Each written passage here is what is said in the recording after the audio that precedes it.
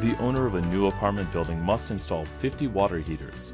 Let's say the proportion of these water heaters that will last 10 years or more is 0.25.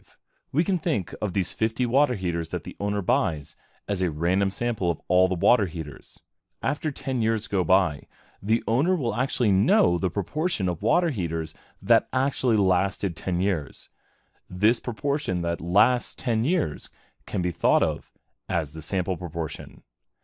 In this example, the sample distribution of the sample proportion refers to, and let's break it down for a moment. They're buying 50 water heaters from a company. They could have bought any random 50 water heaters. And because of that, the sample proportion they're getting right here is a sample proportion from the sample distribution of sample size equal to 50. So they'll find out the sample proportion that lasts in a sample size equal to 50. And this could have been any random sample of 50. So this means that the answer to the first part is A. Next, to be able to know what the mean and standard deviation and the shape of the sampling distribution of the sample proportion is, we must meet three conditions. So let's go ahead and check these conditions and comment on them briefly. So condition number one.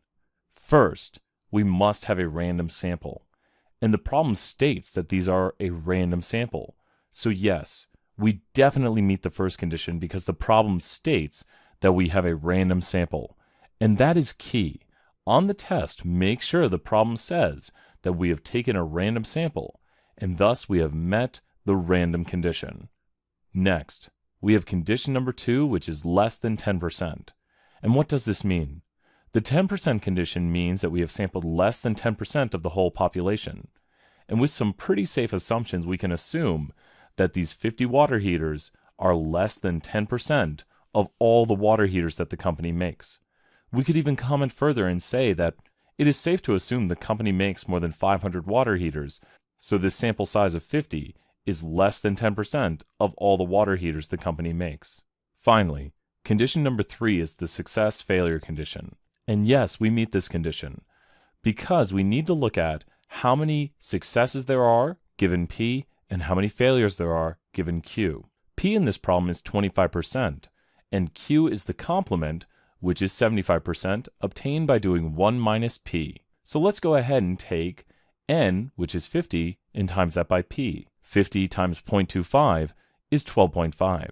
Next, we take q, 0.75, and times that by n, which is 50, and get 37.5. Both 37.5 and 12.5 are greater than 10. It's important to note that we need at least 10 successes and at least 10 failures. We do this by checking NP and NQ and making sure both are greater than 10. Now for part number 3, it actually follows that the shape of the distribution will be normal with a mean of p and a standard deviation of p times q over n square root if we meet all three conditions. So when we figure out what the mean is, well, the mean of the distribution is just p, which is equal to 0.25. Next, we can solve for p times q over n square root and obtain the standard deviation. Finally, if we meet all three conditions, the shape of the distribution of the sample proportion will be normal.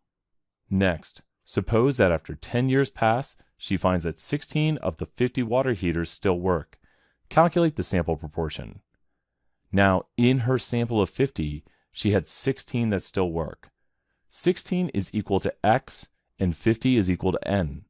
16 over 50 is equal to 0.32. And this is our p hat. She observed in her sample of 50 that 32% still worked after 10 years. Next, we need to find the z-score for our observation.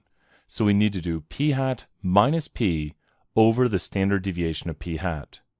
We found that p hat was equal to 0.32 and p is equal to 0.25. So let's divide this by our standard deviation and obtain our z-score.